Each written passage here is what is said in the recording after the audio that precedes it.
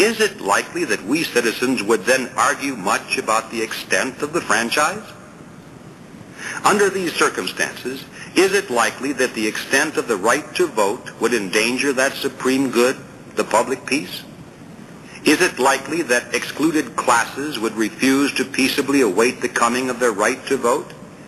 Is it likely that those who had the right to vote would jealously defend their privilege? If the law were confined to its proper functions, everyone's interest in the law would be the same. Is it not clear that under these circumstances, those who voted could not inconvenience those who did not vote? But on the other hand, imagine that this fatal principle had been introduced. Under the pretense of organization, regulation, protection, or encouragement, the law takes property from one person and gives it to another. The law takes the wealth of all and gives it to a few, whether farmers, manufacturers, ship owners, artists, or comedians. Under these circumstances, then certainly every class will aspire to grasp the law, and logically so. The excluded classes will furiously demand their right to vote, and will overthrow society rather than not to obtain it. Even beggars and vagabonds will then prove to you that they also have an incontestable title to vote. They will say to you, we cannot buy wine, tobacco, or salt without paying the tax. And as a part of the tax that we pay is given by law in privileges and subsidies to men who are richer than we are.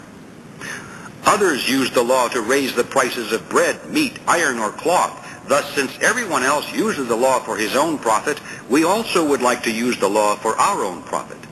We demand from the law the right to relief, which is the poor man's plunder. To obtain this right, we also should be voters and legislators, in order that we may organize beggary on a grand scale for our own class, as you have organized protection on a grand scale for your class. Now don't tell us beggars that you will act for us, and then toss us, as Mr. Mimerel proposes, 600,000 francs to keep us quiet, like throwing us a bone to gnaw. We have other claims. And anyway, we wish to bargain for ourselves, as other classes have bargained for themselves. And what can you say to answer that argument? As long as it is admitted that the law may be diverted from its true purpose, that it may violate property instead of protecting it, then everyone will want to participate in making the law, either to protect himself against plunder or to use it for plunder. Political questions will always be prejudicial, dominant, and all-absorbing. There will be fighting at the door of the legislative palace, and the struggle within will be no less furious. To know this, it is hardly necessary to examine what transpires inside the legislature. Merely to understand the issue is to know the answer. Is there any need to offer proof that this odious perversion of the law is a perpetual source of hatred and discord? That it tends to destroy society itself?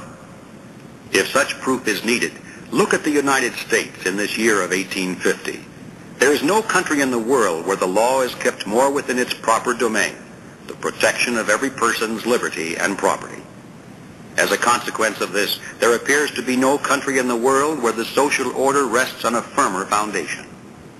But even in the United States, there are two issues, and only two, that have always endangered the public peace. What are these two issues? They are slavery and tariffs. These are the only two issues where, contrary to the general spirit of the Republic of the United States, law has assumed the character of a plunderer. Slavery is a violation by law of liberty. The protective tariff is a violation by law of property. It is a most remarkable fact that this double legal crime, the sorrowful inheritance from the old world, should be the only issue which can and perhaps will lead to the ruin of the Union. It is indeed impossible to imagine at the very heart of a society a more astounding fact than this.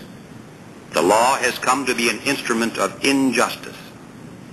And if this fact brings terrible consequences to the United States, where the proper purpose of the law has been perverted only in the instances of slavery and tariffs, what must be the consequences in Europe, where the perversion of the law is a principle, a system?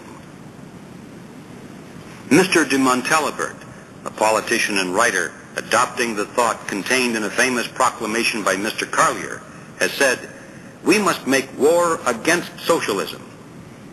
According to the definition of socialism advanced by Mr. Charles Dupin, he meant we must make war against plunder.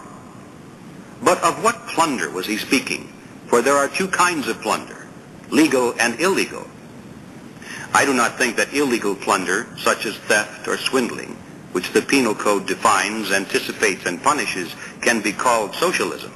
It is not this kind of plunder that systematically threatens the foundation of society. Anyway, the war against this kind of plunder has not waited for the command of these gentlemen. The war against illegal plunder has been fought since the beginning of the world. Long before the Revolution of February 1848, long before the appearance even of socialism itself, France had provided police, judges, gendarmes, prisons, dungeons, and scaffolds for the purpose of fighting illegal plunder. The law itself conducts this war, and it is my wish and opinion that the law should always maintain this attitude toward plunder. But it does not always do this. Sometimes the law defends plunder and participates in it.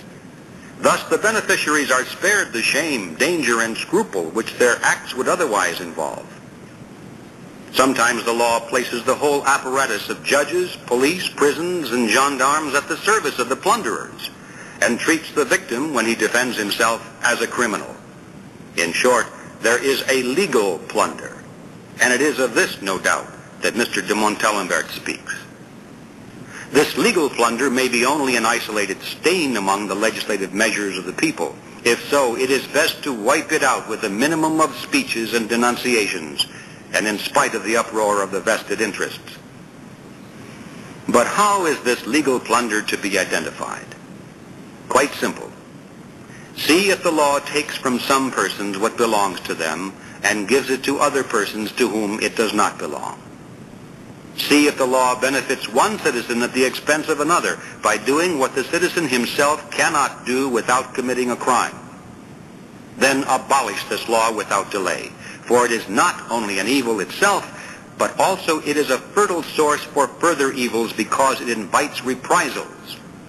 If such a law, which may be an isolated case, is not abolished immediately, it will spread, multiply, and develop into a system the person who profits from this law will complain bitterly, defending his acquired rights. He will claim that the state is obligated to protect and encourage his particular industry, that this procedure enriches the state because the protected industry is thus able to spend more and to pay higher wages to the poor working man. Do not listen to this sophistry by vested interests. The acceptance of these arguments will build legal plunder into a whole system. In fact, this already has occurred. The present-day delusion is an attempt to enrich everyone at the expense of everyone else, to make plunder universal under the pretense of organizing it. Now, legal plunder can be committed in an infinite number of ways. Thus, we have an infinite number of plans for organizing it. Tariffs, protection, benefits, subsidies, encouragements, progressive taxation, public schools, guaranteed jobs, guaranteed profits, minimum wages, a right to relief, a right to the tools of labor, free credit, and so on and so on. All these plans as a whole, with their common aim of legal plunder, constitute socialism. Now, since under this definition, socialism is a body of doctrine, what attack can be made against it other than a war of doctrine? If you find this socialistic doctrine to be false, absurd, and evil, then refute it. And the more false, the more absurd, and the more evil it is, the easier it will be to refute. Above all, if you wish to be strong, begin by rooting out every particle of socialism that may have crept into your legislation. This will be no light task. Mr. de Montalembert has been accused of desiring to fight socialism by the use of brute force. He ought to be exonerated from this accusation, for he has plainly said, the war that we must fight against socialism must be in harmony with law, honor, and justice. But why does not Mr. Montalembert see that he has placed himself in a vicious circle? You would use the law to oppose socialism, but it is upon the law that socialism itself relies.